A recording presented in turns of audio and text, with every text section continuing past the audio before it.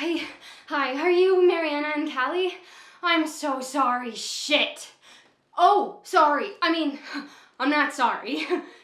I'm trying to be better about not saying sorry as much, which is really hard because apologizing is a big thing in my family. So, I regret that I'm late. anyway, um, it's really nice to meet you guys.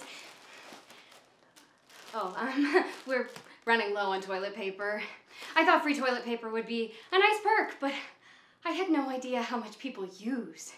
So, I'm really sorry, but uh, I regret that once this runs out, you're gonna have to buy your own.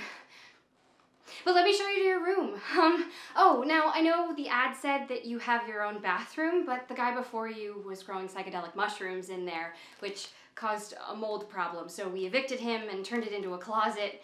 Um, I could take a little off your rent. Uh, and you could get a chamber pot on Amazon if you don't want to pad down the hall at night. yeah, I just wouldn't poop in there though, because uh, we have a bit of a mice problem and they might try to eat it, uh, depending on your diet, of course.